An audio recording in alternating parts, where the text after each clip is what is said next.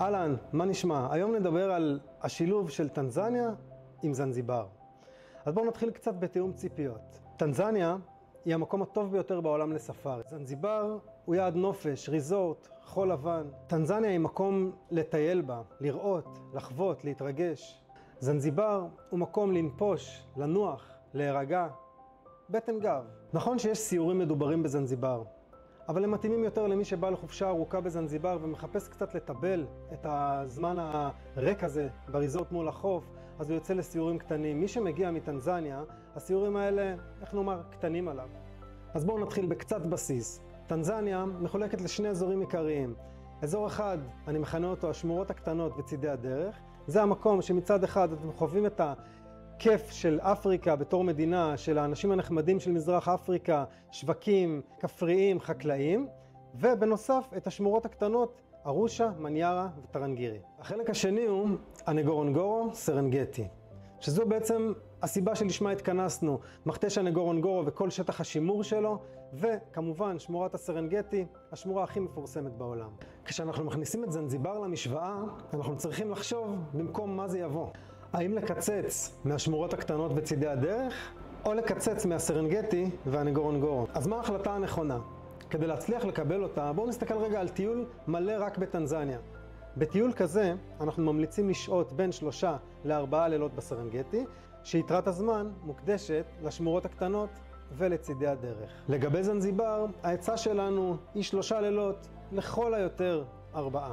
אז אם אנחנו מגיעים למסקנה הברורה שאם באנו לראות את הטבע במלוא הדרום, החלק המשמעותי יותר בטנזניה הוא הנגורונגורו והסרנגטי, שדורש מאיתנו כשלושה עד ארבעה לילות, ואנחנו יודעים שבזנזיבר אנחנו צריכים בין שלושה לארבעה לילות גם, מה שלוקח אותנו לשילוב המושלם שהוא כנראה נגורונגורו סרנגטי עם זנזיבר.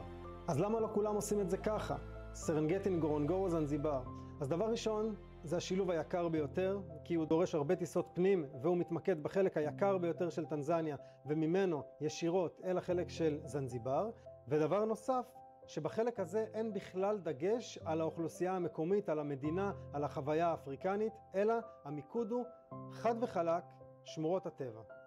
המסלולים שאנחנו מציעים לטנזניה וזנזיבר הם משלושה סוגים. שגם כאן, בדומה למסלולים של האטרקטיבי, אפקטיבי והכי טוב שיצרנו בטיולי טנזניה בלבד, גם כאן עיקר ההבדל הוא כמה לילות בסרנגטי. במסלולים הפשוטים יותר יהיו מעט לילות בסרנגטי, ובמסלולים היקרים יותר, טובים יותר, מושקעים יותר, יהיו יותר לילות בסרנגטי.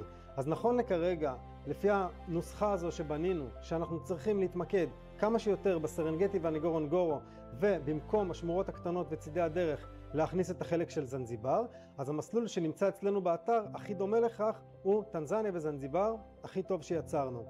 מתחתיו יש את המסלול האפקטיבי, שבו יש לילה אחד פחות בסרנגטי, משמע שני לילות, ומתחת למסלול האפקטיבי יש לנו את המסלול האטרקטיבי, שגם בו יש שני לילות בסרנגטי, אבל הטיסה בו היא לא מלב הסרנגטי, משמע יש עוד הרבה זמני נסיעה שבסופו של דבר יבואו לנו על חשבון הסרנגטי.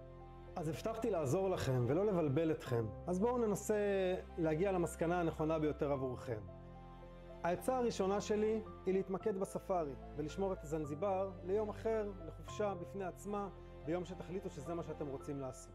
אבל אם החלטתם בכל זאת לרצות את כולם במשפחה, אז העצה שלי היא להתמקד בנגורונגורו והסרנגטי ולשלב את זנזיבר על חשבון השמורות הקטנות וצידי הדרך.